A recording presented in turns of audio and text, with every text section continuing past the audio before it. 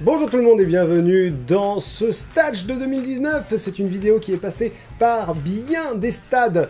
D'abord, je voulais faire un montage à peu près propre. Ensuite, je me suis dit, je vais le faire en live parce que ça sera plus simple, il y aura moins de montage. Finalement, j'ai passé énormément de temps sur le montage et les essais de live n'ont pas été concluants du tout. Donc, je me suis dit, je vais annuler parce que ça me demande beaucoup trop de temps par rapport à, au temps que j'ai à, accorder à cette vidéo. Et puis, euh, vous allez voir, si vous voyez ces mots, c'est que nous sommes parvenus au bout de la dernière idée c'est-à-dire tourner le stage de 2019 et le faire monter par le monteur masqué, qui est un monteur qui, va peut-être m'aider dans l'avenir pour mes vidéos sur Linksoft. Donc si vous avez l'impression que la vidéo est bizarrement montée, si vous avez l'impression que c'est à la fois trop pauvre, voilà, pas bien étudié, pas bien bité. C'est un monteur débutant, d'accord?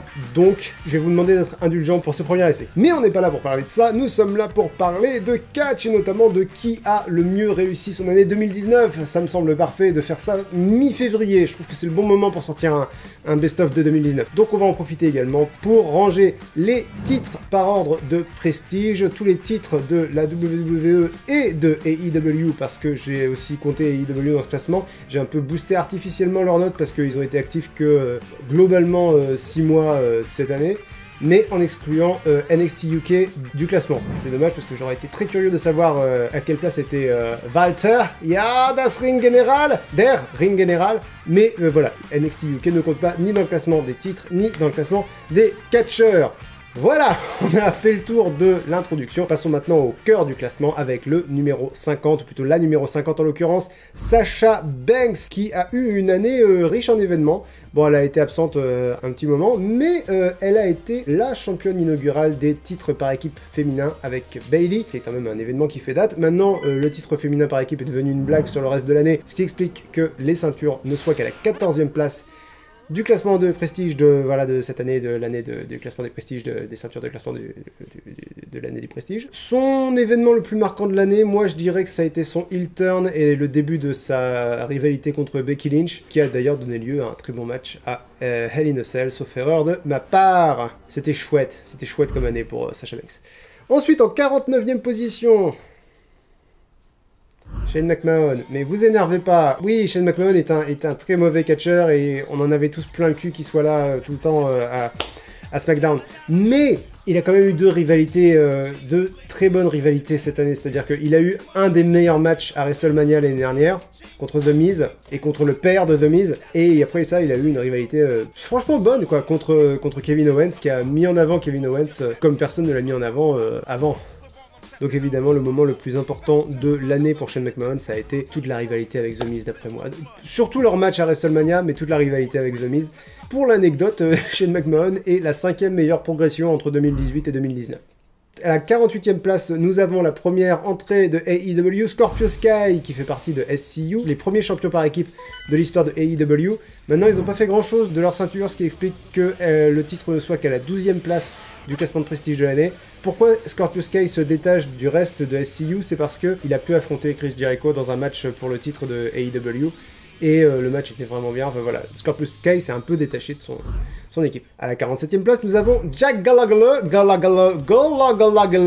qui est à peu près à la même place que l'année dernière, sauf que de ma part, il est à... Je vais vérifier ça vite.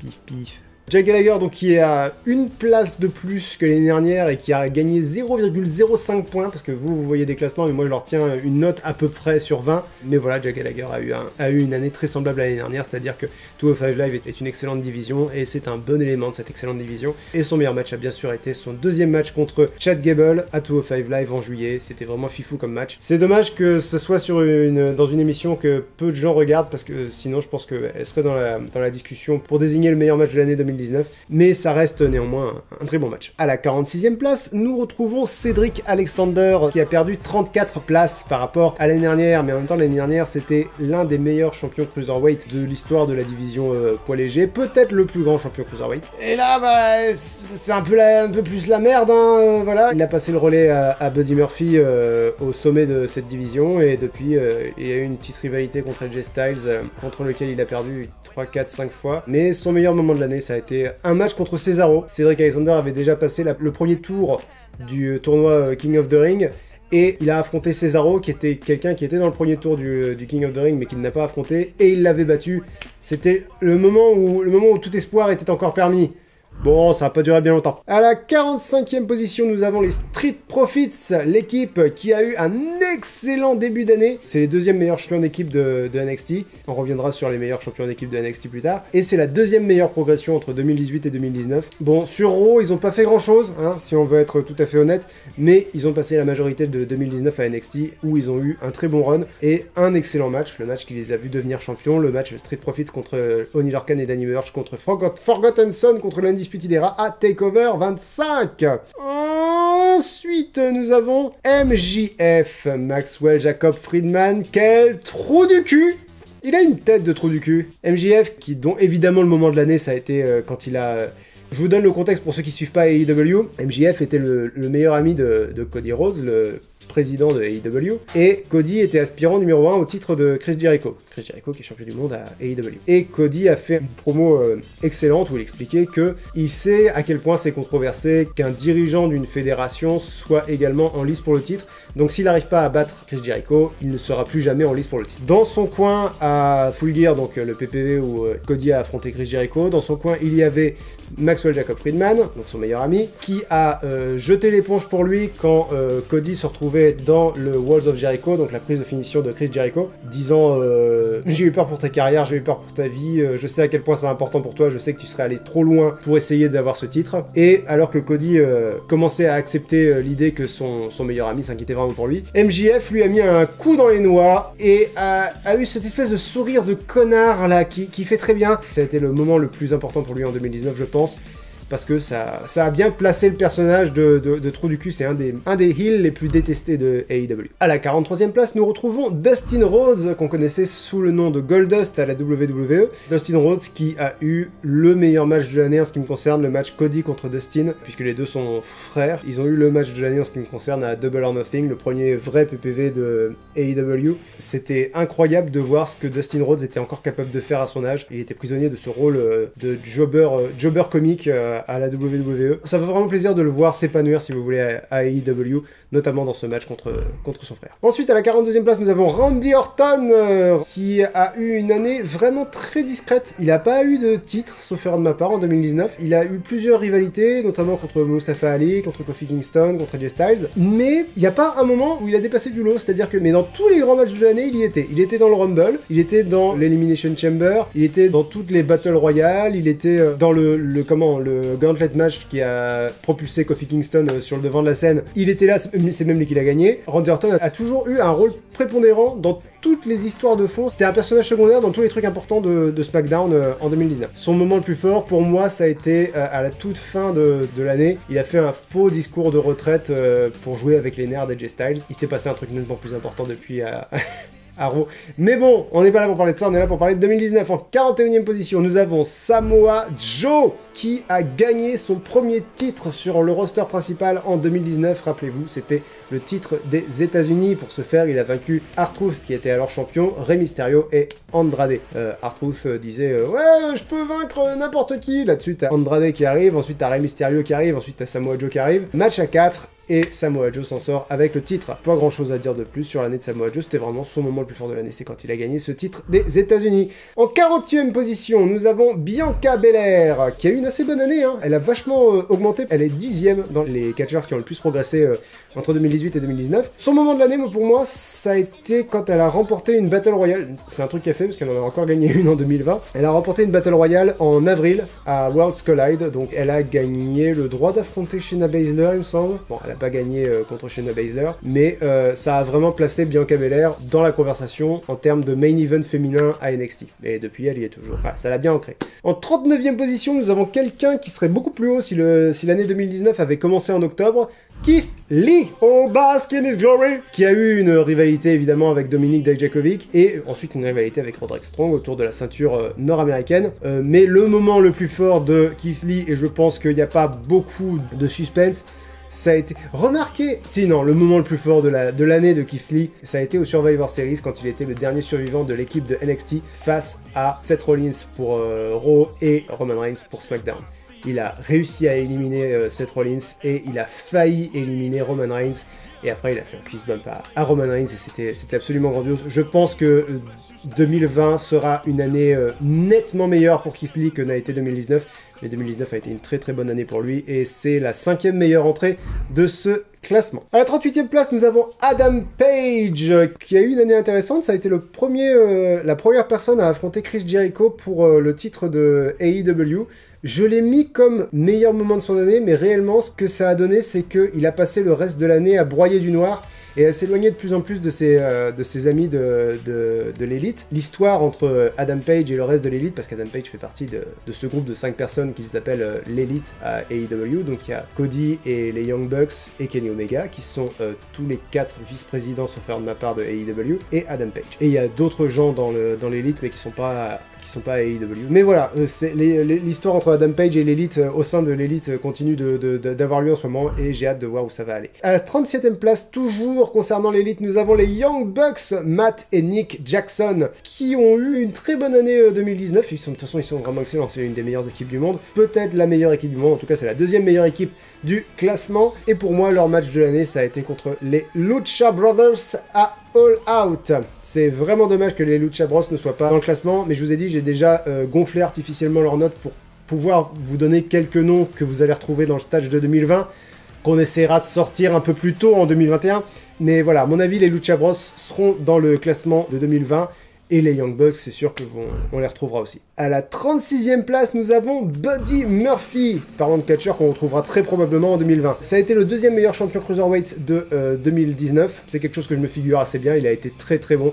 Il a vraiment pris la, relève de Cédric Alexander avec brio. Il a eu une première rivalité contre Tony Nice en 2019 qui lui a fait perdre la ceinture à WrestleMania. Mais son meilleur match au sein de sa meilleure rivalité d'après moi, c'est quand il a battu Daniel Bryan à SmackDown parce que Brian accusait euh, Buddy Murphy de mentir au sujet de la culpabilité d'Eric Rowan dans, le, dans l'affaire du meurtre de Roman Reigns. Vous voyez quelle rivalité je veux parler. Ça a fait du bien de voir Murphy euh, dans, le, dans, le, main event de SmackDown, parce que c'était l'histoire la plus importante de SmackDown. Donc du coup, c'était, c'était vraiment chouette. À la 35e position, nous avons... Hey, on va replacer un titre, puisque nous parlons de Bailey. Bailey qui est là euh, bah, championne euh, inaugurale euh, féminin par équipe avec Sasha Banks. C'est surtout la meilleure championne de SmackDown de l'année, ce qui place le titre à la 9 position des titres les plus prestigieux de l'année. C'est pas, pas glorieux, c'est pas, pas glorieux, glorieux. Mais Bailey a eu une année année comme ça, une année mi-enthousiaste, c'est-à-dire elle a gagné Money in the Bank quand même l'année dernière, mais elle a encaissé le contrat tout de suite, ce qui a vraiment pas aidé à la solidifier en tant que championne. Et ensuite, quand il s'est agi de défendre son titre, bah elle a fait un, il me semble qu'elle a fait un roll-up, qu'elle a triché ou quelque chose comme ça. Du coup, elle fait vraiment championne en carton et c'est un peu dommage. Elle a fait un heel turn pour euh, rafraîchir son personnage et franchement, ça a eu plutôt l'effet inverse d'après moi. J'ai pas, j'ai beaucoup aimé le heel turn de Bailey, mais j'ai pas aimé, euh, j'aime pas son personnage en heel. Ça va, ça va moins bien. Les bons babyface, les bons personnages positifs, les bons gentils au catch sont tellement rares t'as tendance à vite, euh, t'ennuyer avec des personnages. Euh, c'est comme, c'est comme dans n'importe quelle fiction. Les personnages qui sont trop lisses, t'as tendance à les, à les trouver chiants. Bailey arrive à être positive et euh, engageante pour le public. C'est un peu gâché de lui avoir fait faire un heel turn, surtout si c'est pour la traiter comme une championne de papier derrière. À la 34e place, nous avons la quatrième meilleure entrée de ce classement, Rey Mysterio, qui est une entrée puisqu'il a catché moins de 4 mois l'année dernière. Je compte que tu comptes quand t'as fait au moins 4 mois différents. Même si t'as fait juste une apparition euh, chaque mois, faut que t'aies fait 4 mois. Donc Rey Mysterio, Rey Mysterio qui a eu notamment une très bonne rivalité avec Brock Lesnar. Brock Lesnar a, agressé euh, sans raison apparente euh, Rey Mysterio et Dominique, le fils de Rey Mysterio, à Raw. Rey Mysterio a pas aimé, puis il a rendu l'appareil à Brock Lesnar. Et c'est pas souvent qu'on voit Brock Lesnar en difficulté, donc du coup ça a vraiment vraiment mis en avant Rey Mysterio et ça ça fait euh, ça fait plaisir. Il a été champion des États-Unis, ça a été le troisième meilleur champion des États-Unis, ce qui veut pas dire grand chose parce que mais vous verrez quand je vous donnerai la position du titre des États-Unis, pas, pas été une bonne année pour le titre des États-Unis. À la 33e position, il a perdu 21 places par rapport à 2018, euh, mais à mon avis, il va en gagner beaucoup en 2020. Nous avons Drew McIntyre, qui a eu un bon début d'année 2020, hein, on va dire ça comme ça. Drew McIntyre, qui a eu une année pareille, un petit peu transparente, jusqu'à ce qu'il s'en prenne à Kurt Hawkins et euh, Zack Ryder, puis à euh, Noé Rosé, en montrant beaucoup plus de, personnalité, en étant beaucoup plus charismatique au micro en fait, ça a juste été un, face turn, quoi. C'est-à-dire, il continue d'être brutal, d'être d'être vite fait méprisant avec, son, avec ses adversaires, mais il était tellement cool que le public adoré, l'adorait, et bah, ça a donné lieu à ce que vous savez en, 2020, j'évite de spoiler 2020, même si a priori là vous êtes déjà au courant, que l'année de Don McIntyre a vraiment, vraiment bien commencé, et à mon avis on le trouvera dans le top 10 de 2020, j'espère, en tout cas je croise les doigts, parce que la dernière fois que j'ai dit que je pensais qu'on allait retrouver quelqu'un haut dans le classement, on va y revenir. À la 32e position, je triche un peu, mais nous avons Dean Ambrose slash John Moxley, parce que ni Dean Ambrose ni John Moxley n'atteignaient le top 50 parce qu'ils n'ont pas catché suffisamment longtemps. Par contre, si on considère que Dean Ambrose et John Moxley ne sont qu'un seul et même catcheurs, eh ben voilà, 32e place, et notamment le meilleur champion intercontinental de l'année, ce qui veut dire que le titre intercontinental s'est bien cassé la gueule par rapport à 2018, puisqu'il est à la 11e place. Et franchement, je vous en voudrais pas d'avoir oublié que Dean Ambrose avait été champion intercontinental en 2019. Il a juste eu un, règne explosif en début d'année, avant de, évidemment, quitter la WWE et rejoindre AEW sous le pseudonyme de John Moxley, où il a eu son meilleur moment de l'année, c'est-à-dire quand il est arrivé à AEW, j'en pouvais plus. J'ai crié, oh il a eu une rivalité très très cool avec euh, Kenny Omega à AEW, mais rien n'a jamais euh, surpassé son arrivée dans la fédération. Une arrivée surprise à Double or Nothing euh, après le main event, Kenny Omega contre Chris Jericho, je crois. Très grand moment, vraiment beaucoup aimé. À la 31e place, nous avons Andrade, qui a perdu 5 places par rapport à l'année dernière, qui a perdu 0,4 points. En fait, il a très bien commencé l'année avec une rivalité contre Rey Mysterio. Ils ont eu plusieurs matchs très très très serrés. Dans une rivalité qui n'a pas eu de conclusion. Quand il devait faire la belle, Samoa Joe est, intervenu pour interrompre le match. Et euh, on n'a jamais eu la belle entre Andrade et Rey Mysterio. Nous verrons, nous verrons ce que ça donnera. En tout cas, euh, voilà, bonne année pour euh, Andrade, qui n'a toujours pas eu de ceinture sur le roster principal. on croise les doigts, c'est pour 2020. Non, c'est cette année qu'il a été champion des États-Unis. Donc voilà, ça a déjà eu lieu. Ouais Nous allons faire une petite parenthèse du côté des pires catcheurs de l'année. Si vous le voulez bien, nous allons attaquer le euh, classement, ça va juste être un top 20 divisé en deux top 10. Vous allez voir, ça va être très très simple puisque nous commençons à la 153e place qui est en fait la 20e place en partant du bas avec Alia et Vanessa Born. Quand ils ont annoncé la division par équipe féminine, ils ont commencé à faire des équipes euh, random avec euh, par exemple Naomi et Carmela. Bah ça voilà, c'était l'équipe random de, NXT. Elles ont gagné, j'ai écrit quoi? Formées en début d'année, elles ont gagné un match en février et elles ont perdu un match en avril. Et sinon, en solo, elles ont perdu presque tous leurs matchs. À la 19e place, nous avons Ali. Toute la division féminine de, de AEW est, mal foutue parce que, euh, bah, d'ailleurs, il n'y a qu'à voir la, position du titre féminin de AEW qui se retrouve à la 17e place, c'est-à-dire la dernière. Il faut dire que leur championne Rio est jamais là. Ali était présentée comme la deuxième ou la troisième au classement des meilleures euh, catcheuses de AEW, alors qu'elle avait gagné un match, perdu un match et qu'on l'avait jamais vu sur l'émission principale de AEW. C'était un symbole, si vous voulez. À la 18e place, nous avons Shelton Benjamin, qui a eu une période en juillet où une intervieweuse lui posait une question. Il regardait à gauche, à droite, en, haut, en bas, partout. Il souriait, ou il, faisait la gueule, ou il faisait des têtes bizarres et puis il quittait le cadre. Ça a duré trois semaines et ça a débouché sur rien. C'était l'année de Shelton Benjamin. À la 17ème place, nous avons Eric Young. Eric Young qui euh, a eu 4 euh, matchs cette année, qu'il a tous perdus, dont un match à 1 contre 3 où il était parmi les trois. Ça n'a pas été une bonne année pour Eric Young. À la 16e place, nous avons Tamina. Parlant d'équipe random, donc euh, nous avons eu euh, Tammy Jax, l'équipe de Tamina et Naya Jax, et une fois que l'équipe s'est dissoute, et eh ben Tamina a, disparu. Jusqu'au Royal Rumble de cette année où elle a fait un retour surprise dont tout le monde s'est foutu puis elle a redisparu depuis. À la 15e place, nous avons, et ça me fait mal, nous avons Kurt Angle qui a mis fin à sa carrière dans un match à WrestleMania contre Baron Corbin.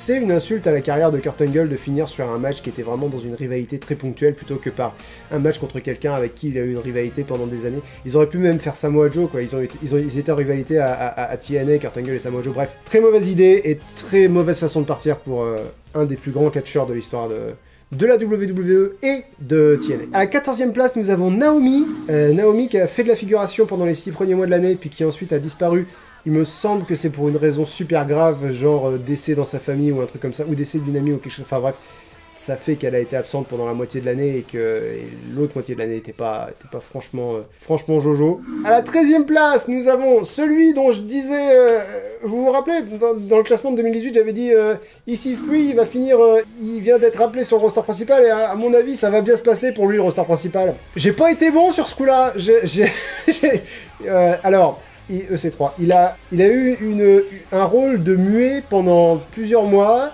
Ensuite, ils l'ont foutu en rivalité contre Dean Ambrose, alors que Dean Ambrose partait et que tout le monde était content qu'il parte parce que ça voulait dire qu'il allait euh, enfin être libre, parce que ça se voyait qu'il était frustré, Dean Ambrose. Et EC3 était censé être le gentil contre Dean Ambrose le méchant, sauf que le problème c'est que tout le monde soutenait Dean Ambrose, et du coup EC3 s'est fait, euh, s'est fait engueuler parce qu'il n'arrivait pas à être le gentil, il n'arrivait pas à rallier le public de son côté, ce qui était infaisable. Et depuis, on l'a plus revu. EC3 là, il, est, dans les vestiaires.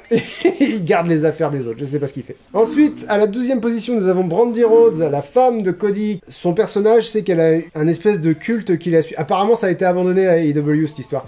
Mais elle a un espèce de, culte qui la suit et qui est franchement naze. Dans une promotion dont les promos sont vraiment un des gros points forts, elle a clairement pas niveau. Elle est niveau mi-WWE. Mais mi-WWE, c'est très mauvais à, à AEW. Ils ont pas que des qualités à AEW, mais leurs promos et leur, euh, leur cash par équipe sont infiniment supérieurs à ce qui se passe à la, à la WWE. Et à la 11e place, nous avons Lana. Lana a été inactive pendant 6 mois en 2019. Elle est revenue pour être dans une rivalité où elle trompait son mari Rousseff avec euh, Lashley. C'était gênant, c'était nul, et c'est toujours gênant, c'est toujours nul. Voilà, mais pour vous donner une idée d'à quel point euh, il y en a qui sont mal placés dans l'année, euh, Lana est 11e en partant de la fin. Ça veut dire qu'il y en a 10 qui sont pires. Et on va y revenir et dans quelques instants. À la 30e place, nous avons Finn Balor. Finn Balor qui euh, aurait été plus haut pareil si l'année avait commencé en octobre, mais ce n'est pas le cas. Il y a eu deux moments, très forts dans son, euh, dans son année. D'une part, il y a eu son retour à NXT euh, en octobre, et ça c'était vraiment très très chouette, vraiment très très fort.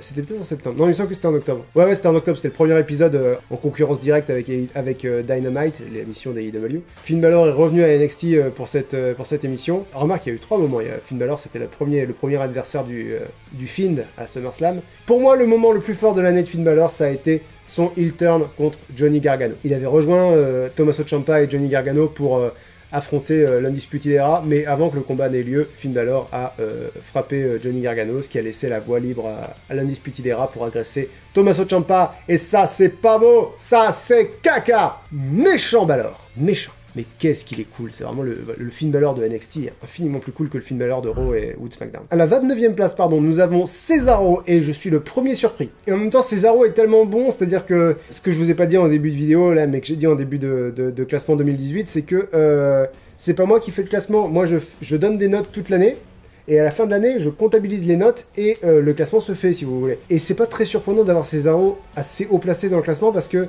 il est très bon. Donc, donc, euh, donc voilà, bah, il, se retrouve, euh, il se retrouve dans les hautes marches du, classement. Pour moi, son meilleur moment de l'année, ça a été son match contre Alistair Black à Extreme Rules parce que c'était la première rivalité d'Alistair Black sur le roster principal. Ils ont eu un match vraiment excellent. J'ai pas grand chose à dire de plus parce que Cesaro a pas eu une année feu d'artifice. C'est juste qu'à chaque fois qu'il catchait, il était très bon parce que c'est Cesaro et Cesaro est génial et qu'il devrait être poussé davantage. À la 28e place, nous avons la troisième meilleure entrée de AEW dans le classement, Kenny Omega. Kenny Omega, dont j'ai beaucoup entendu parler évidemment. Il est vraiment excellent et à mon avis, euh, j'ai pas encore vu euh, ce qu'il pouvait faire de mieux. Je sais, il faut que j'aille voir ses matchs à New Japan pour voir ce qu'il peut faire de mieux. Euh, il a eu une rivalité contre Chris Jericho, puis ensuite contre John Moxley, et à mon avis, son meilleur match de l'année, ça a été contre John Moxley à Full Gear dans un match, dans un light out match, c'est-à-dire un match euh, qui compte pas, un match hors. Traduisez-le dans les commentaires, s'il vous plaît. À la 27e place, nous avons Tommaso Ciampa. Tommaso Ciampa se retrouve à la 27e place alors qu'il a été absent 6 mois dans l'année. C'est fou, mais en même temps, c'est Ciampa et Ciampa est incroyable. Pour moi, le meilleur match de Ciampa de l'année. J'ai hésité avec le Wargames masculin parce qu'il était très bon, mais pour moi, son meilleur match de l'année, c'était contre Alistair Black à euh, Takeover Phoenix en janvier. C'était le match retour de Alistair Black pour le titre de, NXT, que Ciampa avait battu Alistair Black, mais pas de façon clean, sauf erreur de ma part. Pour, euh, Non, pas de façon clean, puisque Johnny Gargano était intervenu et avait aidé euh, Ciampa malgré lui. Là, pour le coup, euh, Alistair Black a affronté le désormais champion euh, Tommaso Ciampa, et Ciampa est devenu la première et seule personne, toujours pour l'instant, à avoir vaincu Alistair Black de façon clean en un contrat. C'est le, seul qui peut se vanter de ça. Après, clean, il a rien fait d'illégal, quoi. Il l'a pas frappé avec une chaise dans le dos de l'arbitre. Il a, il a rien fait qui aurait, causé une disqualification si la- si l'arbitre l'avait vu. Mais il s'est servi de l'arbitre comme bouclier, il lui a fait un, un DDT ou un suplex, je sais plus, euh, sur le béton euh, découvert à l'extérieur du ring. Que des trucs qu'il a le droit de faire, mais qui sont pas propres propres. Mais n'empêche qu'il a vaincu euh, Black de façon clean. À la 26e place, nous avons Roman Reigns. Euh, Roman Reigns qui a eu beaucoup de rivalités cette année, notamment euh, contre le, le mid-card of Evil, c'est-à-dire Baron Corbin, Bobby Lashley et Drew McIntyre. Ensuite, il a eu une rivalité contre Shane McMahon. Ensuite, il a eu une rivalité contre Rowan, n'est-ce pas, la fameuse rivalité qui a tué Roman Reigns. Et enfin, une rivalité contre King Corbin. Euh, mais le moment de l'année pour euh, Roman Reigns, et c'était difficile de faire mieux que ça, même si c'est pas scénarisé et que normalement ça devrait pas compter, mais je m'en fous, je le compte parce que c'est mon émission et je fais ce que je veux. Ça a été l'annonce de sa rémission de, de leucémie en, en, février. Ça a été le moment où il a reconquis le public. Et la WWE a bien joué après, c'est-à-dire qu'elle a pas essayé de refoutre euh, Roman Reigns dans les matchs de championnat, dans le main event. Elle a vraiment mis Roman Reigns euh, dans, dans sa bulle, quoi. C'est-à-dire que Roman Reigns faisait son truc de son côté, faisait ses rivalités de son côté. Il n'était pas surexplosé. Et c'est bien. Après, il est toujours invincible, mais c'est normal. À partir du moment où tu as établi qu'un personnage était invincible, il faut rester cohérent. Mais voilà, très grand moment, la, rémission de la leucémie de Roman Reigns et un, des, un des vrais beaux moments de, 2019. À la 25e place, nous arrivons à la moitié du classement. Nous avons Oni Lorcan. Oni Lorcan qui a été un des meilleurs éléments de la division Cruiserweight en, en 2019. Euh, la huitième meilleure progression entre 2018 et 2019 également. Et pour moi, le moment de l'année, alors c'est con parce qu'il a eu beaucoup de bons matchs, mais beaucoup de bons matchs qui n'ont pas été spécialement mémorables. Mais il y a un moment, Lorcan était en équipe avec Danny Burch et il faisait équipe contre euh, Ever Rise. Et alors il y a un moment donné, Danny Burch fait une grosse prise à un de ses deux adversaires, puis il fait comme ça, fait genre euh, ah je vais attention je vais faire quelque chose d'énorme. Il fait oh comme ça et t'as le public qui fait oh et on sait pas ce qui se passe parce que son adversaire est par terre en face de lui. C'est-à-dire il va pas va pas frapper, il va pas mettre un coup de pied, il va, on sait pas. Bref, fait comme ça, t'as le public qui fait oh et t'as Danny Bird qui passe le bras qui fait Oni Donc Oni, le prénom de Oni Lorcan. Et t'as Oni Lorcan qui était par terre derrière le ring, qui se lève mais comme possédé en faisant et alors, couplé, à ça, couplé au visuel absolument dément de, Oni Lorcan, c'est qui a invoqué par Danny Burch, t'as un commentateur qui était mort de rire qui fait What the heck was that? Et c'était, c'était, voilà, c'était un des rares moments vraiment très drôles, malgré lui, de, de 2019. Bon, voilà, un peu d'humour ne fait jamais de mal. À la 24e place, qui est toujours trop bas par rapport à ce qu'elle vaut, nous avons Shayna Baszler, qui a été une des meilleures championnes d'après moi de 2019. Et d'après mes stats, elle a placé à elle toute seule la ceinture féminine de la NXT à la quatrième place des titres les plus prestigieux de l'année. Elle a pris une place par rapport à l'année dernière, elle a perdu 0,35 points, on s'en fout complètement, mais c'est vraiment pas révélateur de son niveau global de l'année. Elle a eu une excellente rivalité avec Io Shirai, une rivalité vraiment moyenne avec Mia. Sa meilleure rivalité de loin, ça a été celle avec Rhea Ripley. Et son meilleur match de l'année, ça a été le match où elle a perdu la ceinture euh, de NXT contre Rhea Ripley parce qu'elle a utilisé vraiment un match levé de rideau quoi si vous voulez. Elle a fait absolument tous les spots qui lui avaient permis de gagner jusque là, c'est-à-dire on a vu voilà, on a vu tous les classiques de Shayna Baszler, on a eu euh, le résumé d'un règne de terreur quoi si vous voulez et ça ce match ça a vraiment été la fin d'une époque et la fin d'une grande époque. Je pense que Shayna Baszler est là meilleure championne de NXT de, l'histoire de l'émission. Et j'inclus complètement Asuka dedans. Je vais aller ouvrir un, volet parce qu'il commence à faire sombre et ma vie est un peu passionnante. Ah oui, vous constatez un écart dans la luminosité, effectivement. À la 23e place et deuxième meilleur classement de AEW, nous avons Cody Il a pas un prénom très charismatique. Cody Rhodes, allez, on va l'appeler Cody Rhodes. Le président de AEW et le plus grand babyface de AEW. C'est quelque chose avec lequel j'ai un peu du mal, moi, qui s'accorde le rôle du grand, du grand gentil mais il le fait tellement bien que j'ai du mal euh, en demi-teinte, si vous voulez. Sa rivalité de l'année, ça a été contre Chris Jericho, et son moment de l'année, sans aucune hésitation, c'est la promo dont je vous ai parlé euh, plus tôt dans la vidéo, où je disais qu'il mettait, euh, voilà, il mettait toutes les chances qu'il avait de gagner un jour le titre de AEW dans le match contre Chris Jericho. Sa promo était vraiment très très bonne. Il a tout parcouru, il a parlé de, ce que représentait AEW pour lui, ce que représentait le titre pour lui, il a évoqué son père, il a évoqué sa carrière jusque-là, à l'époque où il était à la WWE, il n'était vraiment pas pris au sérieux et il a décidé de travailler très dur pour changer ça jusqu'à former sa propre fédération et cette promo-là englobait tout ça et c'était vraiment très très beau. Jusqu'à cette fameuse trahison de MJF et ça c'était... Voilà, c'était...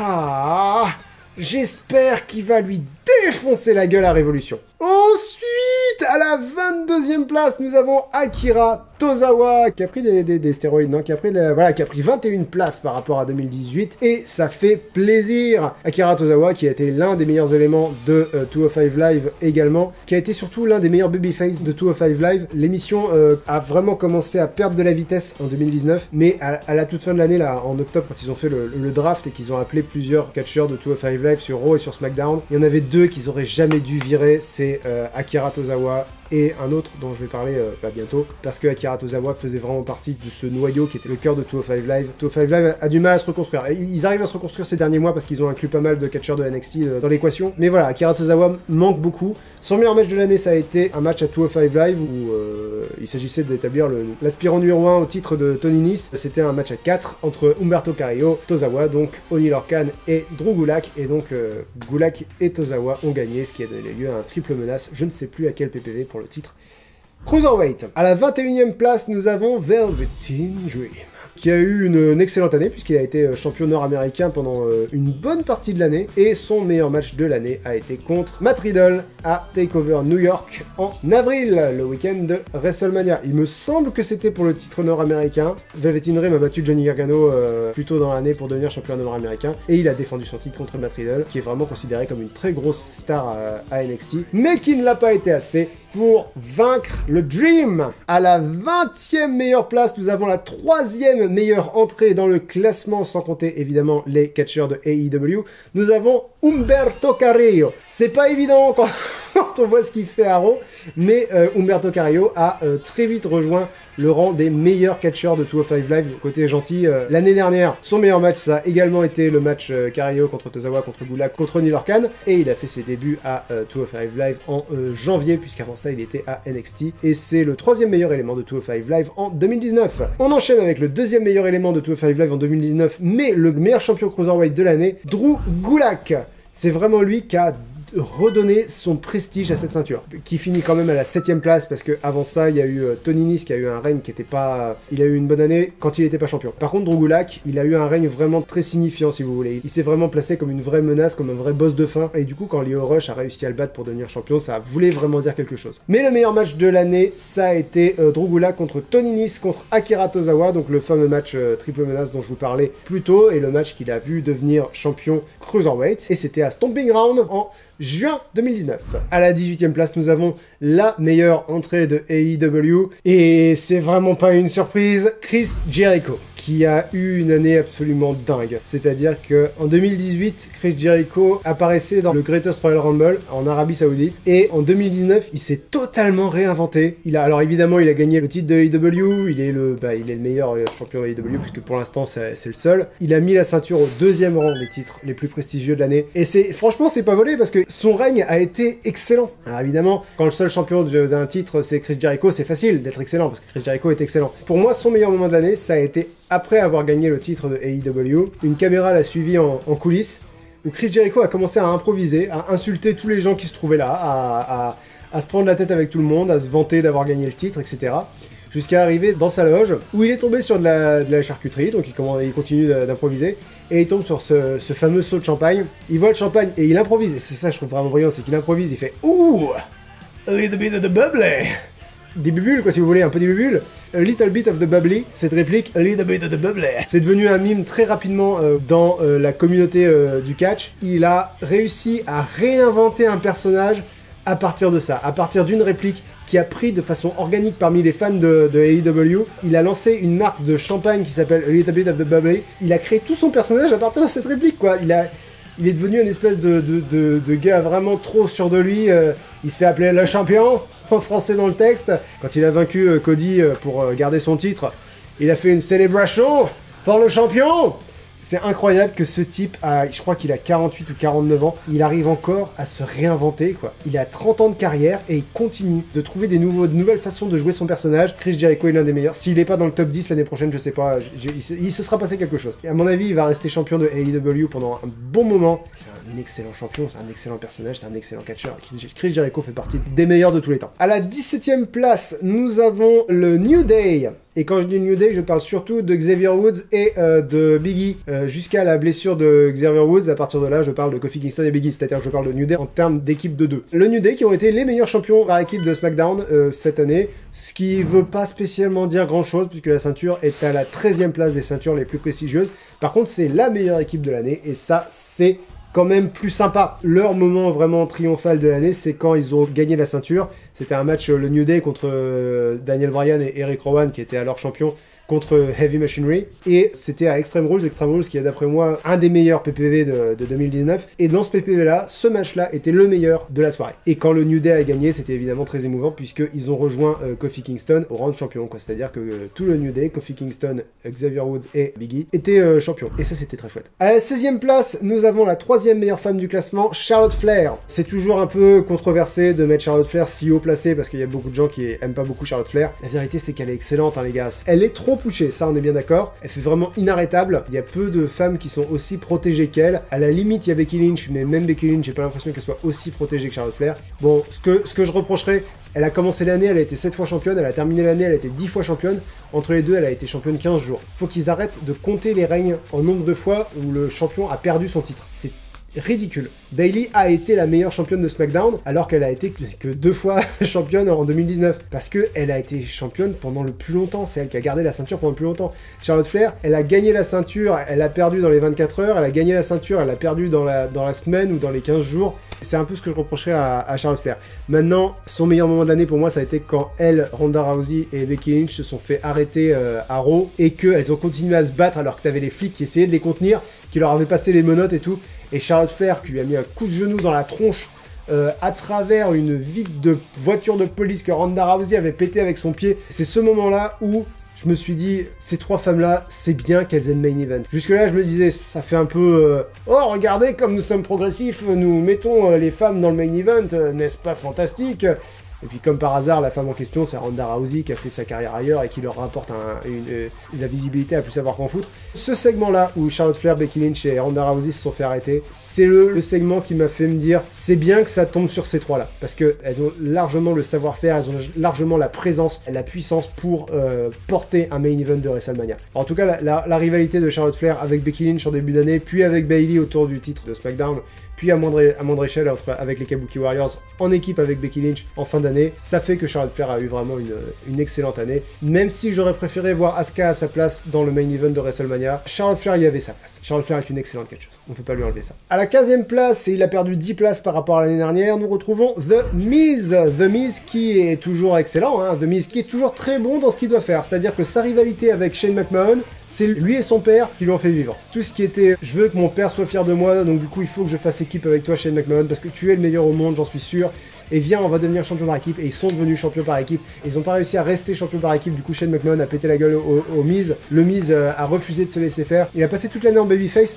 Il fonctionne beaucoup mieux en, en heel qu'en face, d'après moi. Mais le meilleur moment de l'année, ça n'a pas été son match à WrestleMania contre Shane McMahon. Pour moi, ça a plutôt été quand il s'est injecté lui-même dans, la rivalité entre euh, Daniel Bryan et euh, le Fiend. Et où le Fiend a commencé à s'en prendre à lui. A envahi sa maison. Le Fiend, avec ses poupées, a commencé à jouer avec sa gosse. Ça a été le moment le plus prenant pour moi dans l'année du Miz. Ensuite, à la 14e place, nous retrouvons la deuxième meilleure femme de l'année et la deuxième meilleure entrée hors AEW de l'année et la troisième meilleure entrée à ne pas avoir gagné de titre de tout 2019 nous avons Io Shirai. Io Shirai qui est incroyable. En termes de talent, je crois que c'est un des meilleurs éléments de la WWE homme ou femme. Elle est folle, elle a une endurance de folie, elle a deux personnages parce qu'elle marchait très très bien en face, elle marche très très bien en heal. D'ailleurs, son, meilleur moment de l'année, ça a été ce fameux heel turn contre Candice LeRae. Elle a eu un match contre Shayna Baszler pour le titre qu'elle a perdu, mais pratiquement par accident, c'est-à-dire qu'elle a assommé Shayna Baszler, Shayna Baszler qui est tombée à l'extérieur de la cage, ce qui l'a fait gagner. Et du coup, Yoshirai était vraiment passé à ça gagner. Je pense que c'est une future championne de NXT, je vois pas comment c'est possible autrement. Elle est incroyable. Ah bah si, je vois comment c'est possible autrement.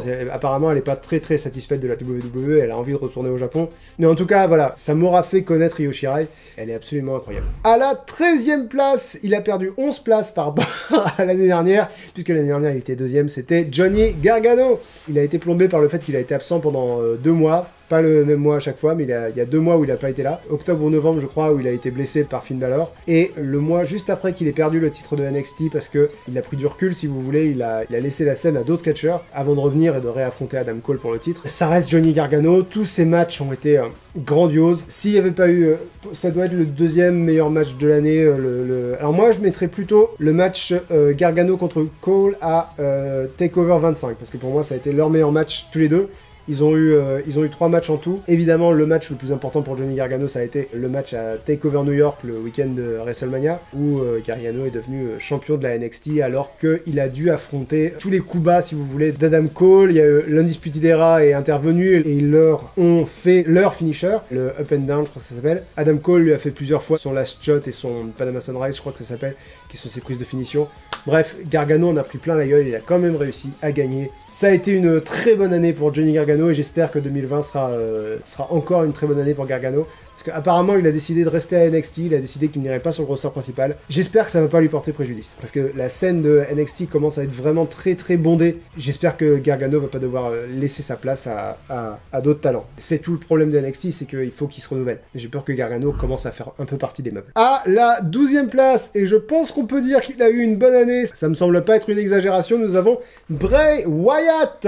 Si l'année avait commencé en juin, Bray Wyatt serait dans le top 5 sans aucune difficulté. Là, il est 12ème. Meilleure progression de l'année, mais de, entre 2018 et 2019, mais avec une solide marge puisqu'il a pris 87 places. Bray Wyatt, l'invention du film, l'invention de Firefly Funhouse. Alors, évidemment, le meilleur moment de l'année.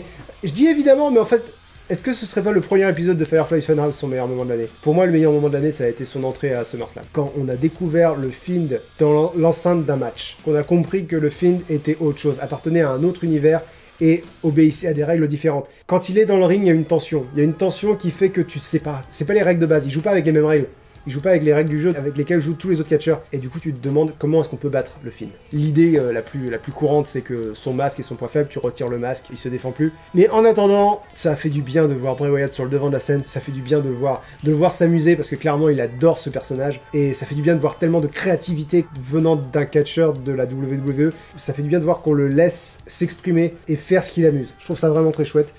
12 place, probablement meilleur en 2020, j'espère qu'il sera meilleur en 2020. On verra, on verra l'année prochaine. À la 11e place, nous avons Kevin Owens. Kevin Owens qui a fait son grand retour en début d'année en tant que face. Étant donné que Daniel Bryan s'est blessé à WrestleMania, il est devenu heel pour avoir une rivalité avec euh, Kofi Kingston. Mais finalement, il est redevenu face parce que c'était le plan qui était prévu depuis le départ. Et ça a donné évidemment lieu à la rivalité avec Shane McMahon qui a donné lieu au meilleur moment de l'année pour Kevin Owens, c'est-à-dire quand il a démonté Shane McMahon au micro en lui disant il y en a plein de cul que t'accapares toute l'attention, il y a plein de catcheurs méritants qui devraient avoir euh, plus de lumière et tu prends de leur lumière et c'est intolérable. C'était un très très bon moment. Euh, deuxième meilleure entrée euh, sans avoir gagné de titre en 2019. J'espère que l'année sera aussi bonne pour Kevin Owens en 2020 parce que c'est toujours un peu délicat. Kevin Owens, on sait pas trop ce qu'ils veulent en faire, on sait pas trop s'ils savent même ce qu'ils veulent en faire. Mais nous allons retourner du côté des négatifs si vous voulez bien avant d'aborder le top 10. On a donc les 10 pires à présent, les 10 pires, les 10 pires catcheurs de 2019. Quand je dis 10 pires, en fait, vous allez voir que c'est pas tant qu'ils sont mauvais, c'est qu'on les a pas beaucoup vus et que quand on les a vus, c'était pas glorieux. À la dixième position, nous avons Peter Avalon. C'est un libraire. C'est ça, son, personnage, c'est qu'il fait Je vois vraiment pas quoi ajouter. Ensuite, à la 9 place, nous avons Awesome Kong, qui est une chose que vous reconnaîtrez peut-être parce qu'elle joue dans euh, Glow. Elle fait partie du collectif de, de Brandy Rhodes, donc la femme de Cody Rhodes où elle est cette espèce de créature vaudou qui coupe les cheveux de ses adversaires pour s'en faire des mèches qu'elle garde sur sa ceinture. C'est pas, pas une bonne, c'est pas, pas un bon personnage, c'est pas bien.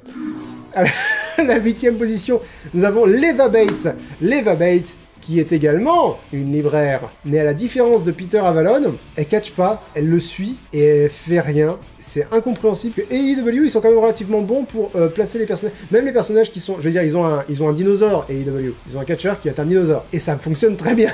c'est ça qui est fou. Ce gimmick de, libraire ne passe absolument pas, n'a aucun sens, ne soit pas drôle, n'aille nulle part. À la septième place, nous avons la pire régression de l'année puisqu'il a perdu exactement 73 places. C'est catastrophique. Jinder Mahal Jinder Mahal qui est passé en 2017 de champion de la WWE à 2018 euh, globalement champion des États-Unis. Il a eu le titre des États-Unis pendant un petit moment et voilà, enfin il était dans cette zone-là. En début d'année, il était euh, champion 24/7, meilleur moment de l'année pour pour Jinder Mahal puisqu'il a récupéré le titre sur un green de golf où il était en slip. C'est rigolo que voir les catcheurs en slip sur un ring, ça me choque pas du tout. Voir les catcheurs en slip sur un green de golf, tu te dis mec t'es en slip quoi, c'est chaud. T'es en slip et en botte et un, turban aussi. Mais il s'est blessé aussi très tôt dans l'année, du coup on l'a plus revu. Très mauvaise année pour Jinder Mahal. À la sixième position des pires, nous avons AOP. Certes, en décembre, ils ont commencé à rejoindre Seth Rollins pour euh, être dans le, dans le main event, dans cette espèce de faction euh, autour de, de, Seth Rollins. N'empêche que pendant toute l'année, on les a pas vus, à part une fois en juillet où ils sont sortis de la loge de Baron Corbin et ça a donné rien. Et en octobre-novembre, ils ont fait des promos où ils étaient assis sur des chaises et où ils disaient euh, euh, on a grandi euh, dans la violence. Euh, chez nous, la violence, c'était la violence.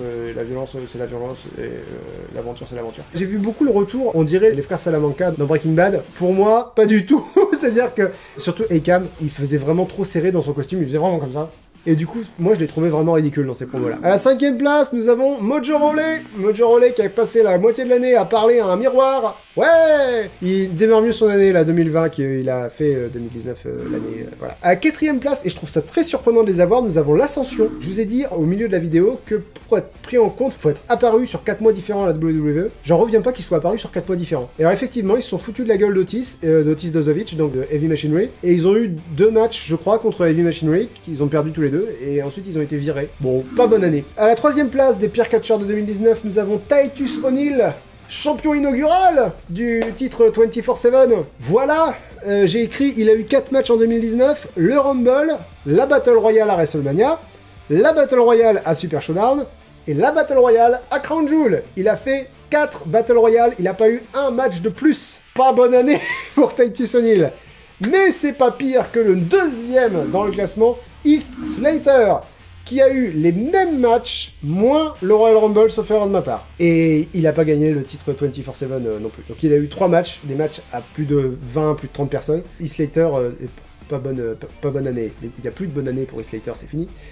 Mais c'est pas pire que la pire entrée de 2019, euh, Alicia Fox. La pauvre Alicia Fox qui est passée dans la, à la WWE, il, range les catcheurs par émission. Alicia Fox est passée de Raw, où elle était active, Alumni, disent en anglais, donc euh, les, anciens, si vous voulez, de la WWE. C'est-à-dire qu'ils ont annoncé sa retraite en glissant son avatar dans un autre onglet un peu honteux. Si vous le voulez bien, avant d'entamer le top 10, nous allons revenir très péniblement et de façon euh, très triste sur les disparus, les 20 disparus de, ce classement, qui étaient là en 2018 et qui ne le sont malheureusement plus, dans l'ordre de la plus petite entrée de 2018 à la plus grande entrée de 2018. Nous avons Rousseff, Ronda Rousey, Lars Sullivan, Ember Moon, les Usos, Lucha House Party, The Bar, donc évidemment Cesaro était dans le classement, mais euh, ne sera pas dans le top 10, ce qui ne surprendra personne.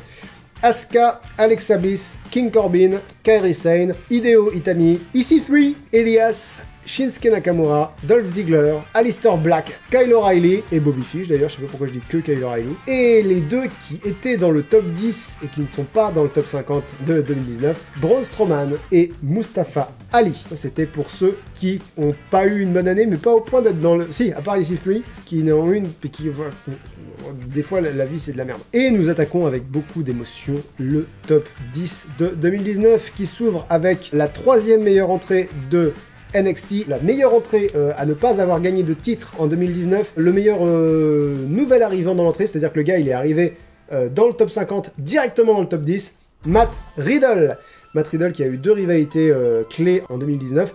D'abord contre Velvet in Dream autour du titre nord-américain, puis ensuite contre Killian Dane. Mais son meilleur match de l'année, ça a été Matt contre Adam Cole dans le premier épisode de NXT qui soit directement en concurrence contre Dynamite, l'émission de AEW. Ils lui ont fait confiance pour être le challenger d'Adam Cole dans le premier match de cette émission aussi importante. Donc pour moi, ça veut dire énormément de choses. Et euh, est vraiment euh, très très bon. J'ai hâte de voir où il sera dans le classement de 2020 parce que je pense qu'il y sera. J'ai hâte de voir euh, où est-ce se positionne par rapport au reste du roster. À la neuvième position, nous avons Tony Nice, la meilleure entrée de 205 Live, dont le règne, donc je vous en ai parlé, n'a pas été euh, vraiment glorieux, mais toute la poursuite de la ceinture contre Buddy Murphy Et la rivalité pour reconquérir la ceinture après contre Drugulak, donc euh, le champion avant euh, et après euh, son règne, ça a été vraiment très prenante. Ça n'a pas été un bon champion, mais c'est vraiment le seul truc qu'on puisse lui reprocher, puisque tout le reste de l'année, il a été vraiment la puissance forte de 205 Live. La puissance forte, c'est pas vraiment de la merde comme expression, j'ai l'impression. Son meilleur match de l'année, ça a été contre Buddy Murphy, pas celui à WrestleMania où il a gagné le titre, parce que pendant plusieurs mois, 205 Live, c'est ce qu'ils ont fait. Ils ont fait un match de pre-show un peu nul dans les PPV, et après, ils faisaient le vrai match à 205 Live à la télé. Et donc, Tony Nese a affronté Buddy Murphy à 205 Live la semaine suivant WrestleMania. Et ils ont eu un match absolument exceptionnel que Tony Nese a du coup évidemment euh, gagné pour conforter sa position et euh, confirmer sa victoire contre Buddy Murphy. À la huitième place, le meilleur champion US de l'année, mais qui n'a pas réussi à élever le titre des États-Unis euh, bien bien haut, c'est AJ Styles. AJ Styles, dont évidemment le moment le plus fort de l'année a été la reformation du euh, club avec Luke Gallows et Carl Anderson, qui eux ne sont pas dans le classement, ça surprendra pas grand monde. Et donc AJ Styles a été le meilleur champion des États-Unis de 2019, mais la ceinture n'en reste pas moins à la 16e place des titres les plus prestigieux, si j'ose dire, euh, notamment parce qu'il y a eu toute la rivalité de merde entre euh, Art-Truth, euh, Shinsuke Nakamura et Rusev en tout début d'année, où ils se sont échangés le titre en le gardant moins d'une semaine, qui a énormément dévalué le titre, et donc forcément c'était et J Styles a eu beau être un bon champion, c'était difficile de revenir après, euh, après un début d'année aussi catastrophique. À la 7 place, la deuxième meilleure entrée de NXT, et franchement je m'y attendais pas, il a, fait son, il a fait son année un peu en fourbe ce mec là. Roderick Strong. Roderick Strong, il fait partie de l'Undisputed Era, l'équipe d'Adam Cole, avec Kyle O'Reilly et, Bobby Fish. Le truc c'est que Roderick Strong, après Adam Cole, c'est celui qui a eu le plus de scénarios dans l'Undisputed Era, c'est-à-dire que il a toujours été cette espèce de maillon faible et de... Euh, on sent que c'est par lui que l'équipe va craquer. Ils ont très bien brodé autour de ça, je trouve. Ils ont vraiment bien euh, construit l'histoire de... Euh, est-ce que Roderick Strong va trahir Adam Cole ou est-ce que c'est Adam Cole qui va trahir Roderick Strong? Est-ce que Roderick Strong va mener Fish et O'Reilly contre Cole ou qu'est-ce qui va se passer Enfin voilà. Mais a eu évidemment plein d'excellents matchs euh, tout au long de l'année. Son meilleur match pour moi, ça a été contre Velveteen Dream à NXT en septembre, dans le premier match, dans la première émission de NXT sur USA, donc à la télé, puisque Strong a gagné le titre nord-américain et a donc été le dernier à accomplir la prophétie. Je parle de Roderick Strong, je vais vite fait évoquer donc euh, Fish et O'Reilly qui ont été les meilleurs champions par, par équipe de NXT, mais un peu par défaut parce qu'il n'y a pas eu vraiment beaucoup de concurrence cette année, ce qui fait que le titre est à la dixième place euh, des titres les plus prestigieux de l'année. C'est un peu dommage. Leur seule concurrence, ça a été les War Raiders en début d'année, puis les Street Profits. Mais depuis, c'est un peu la mort, la division par équipe de NXT. Là, il y a euh, et Pete Dunne qui sont en équipe, donc j'ai hâte de voir où est-ce que ça va aller, euh, cette équipe-là. J'aime beaucoup le fait qu'ils aient une alchimie vraiment très spéciale. À la sixième place, nous avons un des trois grands gagnants de WrestleMania, Seth Rollins, qui a quand même passé une grande partie de l'année à être euh, le champion du peuple. Il a été le meilleur champion universel pour moi de l'année, pour les chiffres surtout, ce qui fait que le, titre universel est à la 8 place. Son moment fort de l'année sans la moindre hésitation. sans la moindre hésitation. Le gars, il a quand même remporté le Rumble et il a vaincu euh, Brock Lesnar à WrestleMania. C'est quand même deux grands moments de son année.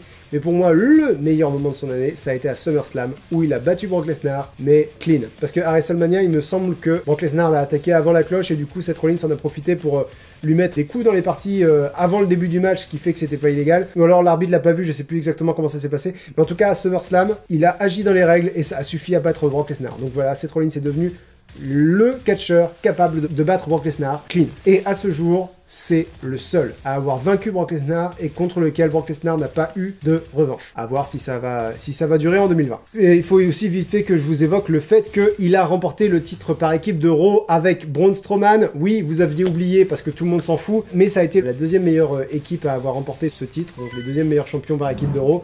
Les premiers étant The Revival, et comme ils sont pas dans le classement, je vous parle de la ceinture maintenant puisqu'elle est à la 15e position des ceintures les plus prestigieuses de l'année, ce qui n'est pas bien bien prestigieux, vous en conviendrez. Je parle en rime, c'est merveilleux.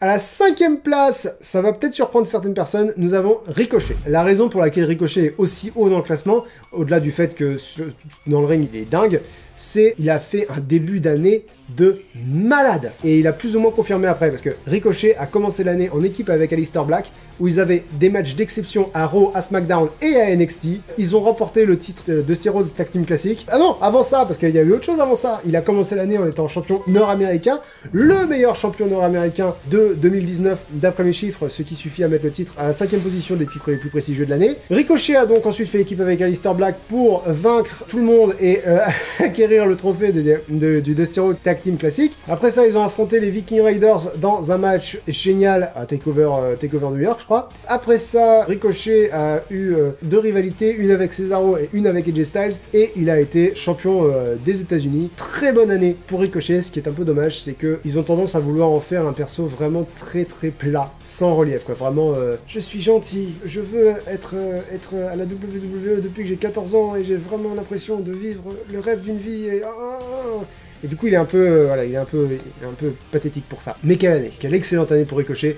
Ça m'étonnerait qu'il soit aussi haut en 2020. Il n'y aura pas le gros boost de NXT en début d'année. Il aura au moins eu cette excellente année 2019. Le seul à avoir la même place en 2018 qu'en 2019, et quitte à avoir la même place, vaut mieux que ce soit la quatrième place, c'est Daniel Bryan, qui a donc euh, fini son règne de champion de la WWE, le deuxième meilleur règne. Il a eu une rivalité évidemment contre Kofi Kingston en début d'année. Ensuite, il a été champion par équipe avec Eric Rowan et il a eu une rivalité contre le New Ensuite, quand euh, Rowan a renversé Roman Reigns, Daniel Bryan était en rivalité contre Roman Reigns. Et ensuite, il a été en rivalité avec Eric Rowan.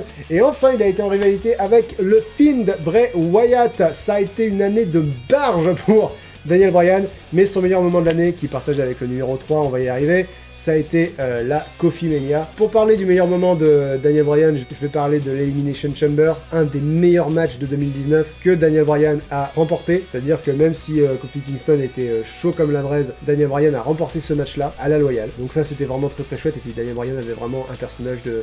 En fait, Daniel Bryan a mis en avant tous les catcheurs contre lesquels il a perdu les, ses rivalités en 2019.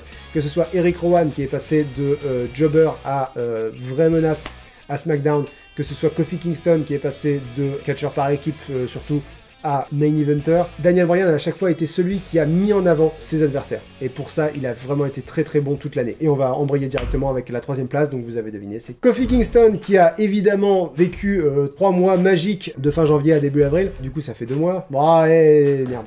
Euh, Kofi Kingston, donc évidemment, son meilleur moment de l'année, ça a été la Kofi Mania. Ce gauntlet match, ce gauntlet match dans lequel il a duré hyper longtemps, match dans lequel il ne devait pas être, mais qu'il n'a pas remporté parce que c'est Randy Orton qui l'a remporté. Ce deuxième gauntlet match que cette fois-ci il devait remporter, mais Vince McMahon a rajouté Daniel Bryan dans le match euh, à la toute fin alors que Kofi avait gagné. Mais son meilleur moment de l'année, évidemment, sa victoire à WrestleMania contre Daniel Bryan. Jamais, jamais Kofi aura été aussi haut. Même son règne après aura été son règne qui est le meilleur règne de champion de la WWE euh, d'après mes chiffres. Je suis pas très surpris parce que c'était tellement inspirant quoi, comme règne. Sixième meilleure place, euh, mais il a également été champion par équipe de SmackDown, euh, dans la meilleure équipe de champion par équipe de SmackDown, donc le New. Le règne de Kofi Kingston a été tellement inspirant, je veux dire, un gars qui vient du Ghana et qui a été champion de la WWE, c'est hyper émouvant, c'est un message très positif. Il a été le symbole quoi, il a été le symbole de, quelque chose de très fort. Et aussi, ça fait 11 ans qu'il est à la WWE, il s'est cassé le cul pour en arriver là. C'était vraiment un, très bon personnage, Kofi Kingston qui a eu un très bon règne et euh, malheureusement qui n'a jamais regagné le, niveau qu'il avait atteint en battant Daniel Bryan à WrestleMania. Deuxième meilleure place, et là, je, le vois venir grand comme une maison, que je vais avoir plein de commentaires qui vont pas être contents. C'est Becky Lynch. Becky Lynch qui... Euh, mais regardez l'année qu'elle a eue, quoi, Becky Lynch, c'est-à-dire, elle a gagné le Rumble, évidemment c'est la meilleure championne d'Euro, puisque ça a été la seule championne d'Euro à l'exception de Ronda Rousey, mais Ronda Rousey et Becky Lynch ont propulsé le titre d'Euro au rang de la troisième ceinture la plus prestigieuse de l'année, mais Becky Lynch a été la deuxième meilleure championne de SmackDown de l'année, derrière Bailey. Elle a été dans le main event de WrestleMania. Le catch féminin part d'assez loin à la WWE, Becky Lynch et Charlotte Flair mais Becky Lynch a été vraiment le visage de cette nouvelle façon d'envisager le catch féminin. Elle a gardé la ceinture depuis WrestleMania et dans la vision générale des fans, si vous voulez, elle commence à peine à perdre de son élan, à perdre du capital sympathique qu'elle avait accumulé jusque-là. Euh, ça commence parce qu'elle a battu Asuka et parce que ça fait longtemps qu'elle est championne et que c'est normal, on n'aime pas trop que les champions durent trop longtemps. Ça fait, voilà, ça fait 9 mois que ça dure et ça commence seulement à s'essouffler. Elle a un potentiel de charisme de fou. Sur ring, c'est clairement pas la meilleure et ça on est bien d'accord. Par contre, en termes de construction de personnage, en termes de promo, en termes d'intensité de promo et en termes de, de figure de proue, si vous voulez, de la division féminine, pouvait difficilement y avoir mieux que Becky Lynch. Elle a rempli ce rôle à la perfection toute l'année. Ça me fait vraiment plaisir qu'elle soit à la deuxième position. Elle n'est pas première, mais elle est première du roster principal et c'est euh, déjà vraiment très très bien. Mais le premier du classement le mérite euh, tout autant, sinon plus, c'est Adam Cole. Évidemment, Adam Cole, bébé Adam Cole qui évidemment a été champion de la NXT le plus longtemps en 2019. Il arrive devant Tommaso Ciampa et devant euh, Johnny Gargano en termes de, prestige de règne, et à eux trois, ils placent le titre de la NXT loin devant, à la première place des titres les plus prestigieux de l'année. Le match le plus important d'Adam Cole et un des plus grands matchs de l'année, peut-être le deuxième meilleur match de l'année, ça a été Gargano contre Cole à TakeOver 25, où Adam Cole, et c'est là que c'est hyper important en termes de scénario, Adam Cole a gagné le titre sans se faire aider de l'Undisputed Era. Il a prouvé qu'à lui seul et sans tricher, c'est exactement comme Tommaso Ciampa, comme Tommaso Ciampa a pas triché contre Alistair Black, Adam Cole a pas vraiment triché contre Gargano. Il a sorti une chaise pour faire style, il allait euh, frapper Gargano avec. L'arbitre a pris la chaise pour aller la ranger. Adam Cole a absolument pas utilisé cette distraction. Il a provoqué une distraction, mais il l'a pas utilisé. À un moment donné dans le match, il fait comme ça euh, vers, le, vers le haut de la rampe. Genre, euh, ah, il y a les gars de l'Undisputed Era qui vont arriver et qui vont venir m'aider. Johnny Gargano a regardé du côté de la rampe. Personne n'est arrivé, ça a été une distraction, ça a juste été de la ruse. Il a rien fait d'illégal et il a prouvé qu'il était le meilleur contre Johnny Gargano. Évidemment, au micro, c'est toujours une pépite, il est toujours génial. Tous ses matchs sont euh, grandioses. C'est un très grand champion de, de la NXT, de NXT, pardon. Maintenant, est-ce que j'espère qu'il va perdre son titre contre Champa Je je sais pas parce que Champa a jamais perdu le titre. Le règne d'Adam Cole a vraiment été très très très cool. Je sais pas si j'espère qu'il va durer encore, parce que vraiment ce règne a été très très bon. Faudrait pas qu'il s'étouffe, faudrait pas que les gens se, lassent. Mais Adam Cole a, guidé euh, Era vers euh, l'accomplissement de la prophétie, c'est-à-dire euh, l'Undisputed Era drapé dans l'or. Adam Cole a été le premier à gagner le titre de sans l'aide de sa faction. Ensuite, Fish et O'Reilly ont gagné les titres par équipe. Et ensuite, Roderick Strong, qui est toujours le euh, maillon faible de l'Undisputed Era, mais le maillon faible, en sous-texte, il n'est pas faible, il est juste un peu plus... Euh, il fait un peu dysfonctionnel dans le, dans le fonctionnement de, de l'Undisputed Era. Roderick Strong a été le dernier à devenir champion nord-américain, et avec une intervention, mais complète, de euh, l'Undisputed Era dans son match contre Velveteen Dream. Bref, j'ai hâte de voir où va l'Undisputed Era, je pense qu'ils vont pas terminer 2020 ensemble, et j'ai hâte de voir où sera Adam Cole dans le classement de 2020. Merci à tous d'avoir regardé cette très longue vidéo, j'imagine. Je vous vous rappelle qu'elle a été montée par un monteur débutant. N'hésitez pas à lui donner des conseils d'ailleurs. Si vous avez des conseils à lui donner, l'espace commentaire est là pour ça et je l'encouragerai à aller regarder euh, les commentaires. Mais c'est une très longue vidéo. Là pour le coup, il y a vraiment beaucoup de. Je sais pas, ça fait une heure, une heure et demie que je parle. C'est pour ça que j'ai plus de voix. Merci à tous d'avoir regardé cette vidéo. N'hésitez pas à laisser un commentaire. Pensez à vous abonner, c'est hyper important. J'insiste beaucoup dessus, mais c'est pas le nerf de la guerre, mais c'est mon pétrole à moi. Vos, abonnements, vos, likes, vos likes. Pensez à mettre un like, ça vous coûte rien, puis ça rapporte beaucoup. Ça rapporte beaucoup. Ça, ça me donne beaucoup de visibilité. Vous savez ce que je veux dire et laissez un commentaire pour, euh, pour le monteur masqué, mais aussi pour moi, pour savoir ce que vous avez pensé de cette vidéo. Je vous souhaite une très bonne fin de journée, je vous dis à très bientôt pour la suite. Salut tout le monde